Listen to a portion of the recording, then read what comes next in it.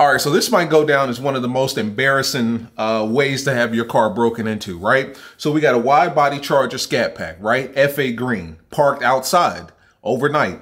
I know a lot of you guys don't like that, but some people live in apartments, uh, uh, townhomes, or houses that don't have garages. Everyone's situation is different.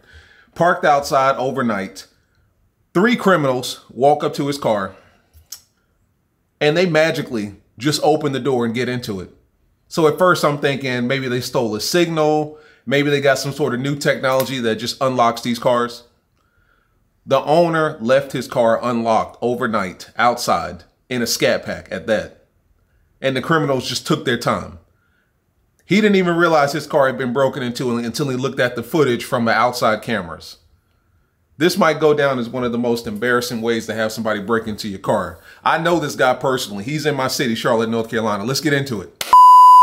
What's up guys, it's your boy Knockout 360 here with another video, man. So as you can tell, I'm in the house. That makes this a house vlog. You already know what's going down. When I come around, let's get into it. I've got car content, car shows, car reviews, car meets. Anything and everything car related happens on this channel. So if you're into that, make sure that you stick around. For everyone else, hit that subscribe button as well as that notification bell so that you know what's coming out and when it's coming out. So I'm always making videos about people's cars being broken into, right? They'll break the window. Um, they'll steal your key fob signal and replicate it in such a way that your car thinks that the key fob that they just created is the original key fob and it'll just open the car and start it and, you know, unlock it and you can take off and leave it and steal with it or, or steal it. You know what I'm saying? They'll just take off. What are some of the other ways that I've seen it? I've seen crazy ways where they'll break the window, reach into the uh, the neutral uh, switch, pull that, and then they'll put your car in neutral and just push it off. I've seen all kinds of crazy ways that our cars have been broken into and stolen. But never have I seen a owner leave his car unlocked, his Scat Pack Charger, wide body, mind you, unlocked, and the criminals just come and peruse. They perused through his car, just took their time looking through everything, and he didn't even realize it until he looked at the footage from the ring camera overnight. Let's go ahead and get into it, man. I'm, I'm going to show you the videos. All right, so boom.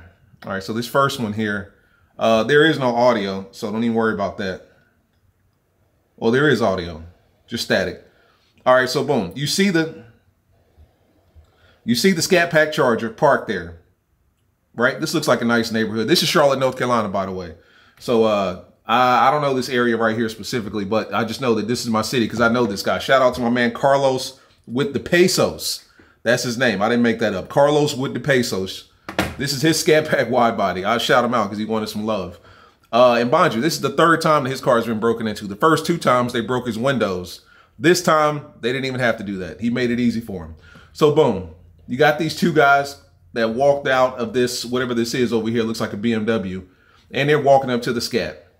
One probably, he's probably going around to see, uh, you know, who's in the uh, house or whatever. Not in the house, but just going to look at the mirrors to make sure that the windows or whatever to make sure that nobody's awake. This guy goes straight for the charger. Now look at what happens here. Tail lights come on, headlights come on. So you're, you're a Dodge owner, you know what that means. Your car has just been opened. Just pops into it. He left it unlocked. Dude just opens the door, sits down, closes the door, taking his time. The other dude is around the corner checking the house to make sure nobody's awake. He pops the trunk. No alarm, no nothing's going off, right? He's got no CarLock, no CompuStar, no nothing. Car is wide open. Pops the trunk. He's in there just taking a sweet time, no rushing. All right, so that's the first clip. Let's go to the second one here. I think this is the second one. Yeah, the boom, this is the second one. His homeboy comes around. They're just talking, taking their time, chilling. No rush at all. Goes to the trunk. He closes the door because he's a polite, you know, he's a polite criminal. You know what I'm saying? He's respectful. They're just in the trunk, just seeing whatever they want, perusing through his car, just taking their time. Look at him. He he just walking. He walking, looking at the other cars, waving at the neighbors, taking their time. They go back to the car. You would think it's over there, right? Nah, nah, no way. They're coming right back.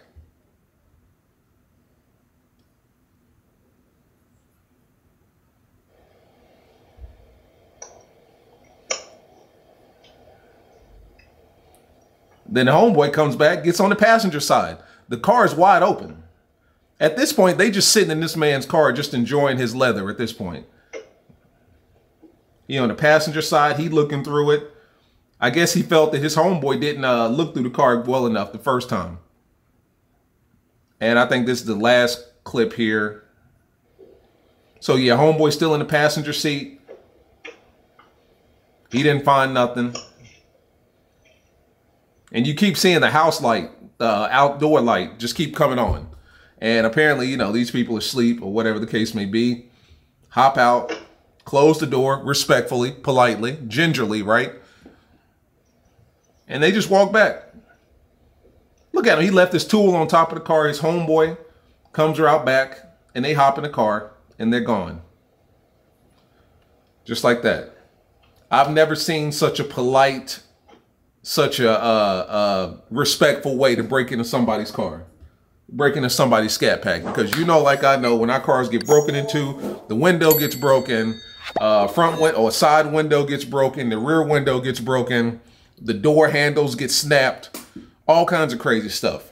But when you leave your car unlocked, it's easy. Don't leave your car unlocked, guys. You know what I'm saying? Like I, I, I never thought that I'd have to make this video, man. I got to come down hard on my boy uh, Carlos here because this is his third time having this car broken into. I couldn't even, I don't even think this is what your car being, like, would you consider this a break-in? Like at this point, all they did was really just open the doors in the trunk. Like I don't even consider this a break-in. But in theory, this will be the third time his car has been broken into. The first two times, he obviously locked the door. They broke his window. And this time, he didn't even bother to lock the door and they just, you know, took their time. But then again, I've heard of people in Atlanta doing stuff like this where they'll roll the windows down um, that way, you know, the criminals can just peek their head in. They don't have to break their windows because the owner won't have to pay for it. They'll just peek their head in, see what's in there. If nothing's in there, they'll just mind their business and go on about their day. So maybe this is the safe way, safest way to own a charger. Maybe you just need to leave your doors unlocked at nighttime, right? And just let the criminals come in, open the door, have a seat, take their time. You know what I'm saying? Have their homeboys come, homeboys hop in the passenger seats, pop the trunk, look around, peruse around, see what they like, see what they don't like. If there's nothing there, they'll close the trunk respectfully, politely. They'll close the doors respectfully, politely, and then they'll just run off and roll out. And my guy said that he didn't even realize his car had been broken into until he got to work that next morning. And he was looking at his trunk and he, all and the shit was all over the place. So apparently he had his stuff like organized in the back in the trunk of his car. And he didn't realize it had been broken into until he opened the trunk and all of his stuff was scattered all over the place, which prompted him to look at the footage from the ring camera. And that's when he realized three people had been in his car just straight chilling. You know, um, lock your damn doors, guys. That's the least you can do. Like whenever I hang out with my my Hellcat, my my Charger Scat Pack buddies or whatever the case may be, my Mopar guys, like we have fun with that. Like we hit the lock button numerous times. Like we're Mopar owners. Like as soon as you close your door to walk away from it, you already know the protocol is to hit that lock button four, five, six times and make sure that you hear it. Because if you hit it and you don't hear it, it didn't happen. You got to hit it and hear it. And in my case, I need to be able to hit it, hear it, and see it all at the same time. I need to see my headlights flash, my tail lights flash, and I need to hear it. If I don't see all those things, or if all those things don't happen at once, I'm gonna hit it again and keep hitting it until I hear it. You know what I mean? Um, but I mean, this, I guess you could, if you had CarLock, what I will say is that the way that CarLock is set up to where five minutes after the engine has been turned off, it automatically arms itself. So you can arm it manually or you can arm it automatically. I have my car set up to where it's automatic. So five minutes after my engine has been turned off and CarLock realizes it, it will arm automatically. So for instance, if I forget to arm it manually, it'll do it automatically. In this particular case, with the doors being unlocked, if he had had CarLock plugged into the OBD, he would have been able to, it would have armed itself automatically after five minutes because the engine clearly been turned off. And then once that person opened that front door, he would have got a notification that somebody was trying to break into his shit, at which point he could have came outside and done what he needed to do. I'm looking at all these clips. I don't see anybody with the gun. I could be wrong. They could have had the shit on tuck, in which case, you know, I just didn't see it. But um, he still would have got some sort of notification. Not to mention, you know, because if he'd had CompuStar and he didn't lock his car, it wouldn't have armed the security, so they still would have been able to just come in and chill. But at least with CarLock, five minutes after the engine's been turned off, it automatically arms itself.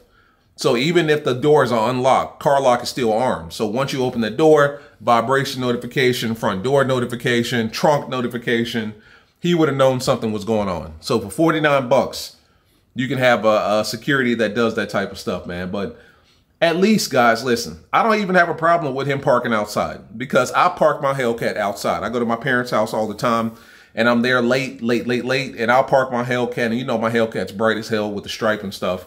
I'll park my Hellcat outside and, you know, nobody bothers it. Not to mention everyone's situation is different. Not everybody lives in a home that has a garage. Some people live in townhomes without garages. Some people live in apartments. Some people have houses, but the houses or the house doesn't have a garage, which is completely understandable. So it's not feasible to just say put it in a garage or garage it. That's not always feasible for the for every man, you know. Um, I'm not mad at that at all. I'm just mad that my boy didn't lock the damn car. Like that's the least you can do. Like at nighttime before I go to bed, every night I lock both of my cars. Now, mind you, I lock my car as soon as I step out of it every single time by default. Like it's automatic in my head at this point. But before I go to bed, I have to walk past my uh, my keys that's on the wall, you know, and I automatically lock it, even just uh, just just for the peace of mind, so that I go to sleep knowing that I did my part. Lock it. So that's my message to you guys. Lock your damn doors. That's the least you can do. But if you think about it, on the flip side, if he had locked his doors, he would probably have a broken window at this point that he'd have to pay for. So maybe it's all a part of the game. Maybe that's what we need to start doing. Unlocking our doors, leaving our cars unlocked so that the criminals will just open the door, sit down, peruse around, right? Decide whether or not they want to take anything. And that's, of course, on the owner's responsibility not to leave anything in a car. So they sit down and they realize, oh, damn, this is a nice car, but there's nothing in here I want. I'm just going to go ahead and call it a night and get ready for work in the morning. right? And then that's when they close your door respectfully, gently. They close your trunk respectfully, gently. And then they go on about their day. Right? And they get ready for work in the morning. So maybe he was ahead of the curve. Maybe him doing this was smart because the first two times that his car got broken into, the doors was locked and they broke his window. This time, he was smart. Left his car unlocked. Nothing was broken. I don't know. Maybe it's, you know, kind of a mind trick there. Like that reverse psychology type of stuff. I don't know. But as always, guys, it's Benny Boy Knockout 360, man. I would advise you to lock your door, but then again, he might be on to something, man. See you guys in the next one. Peace.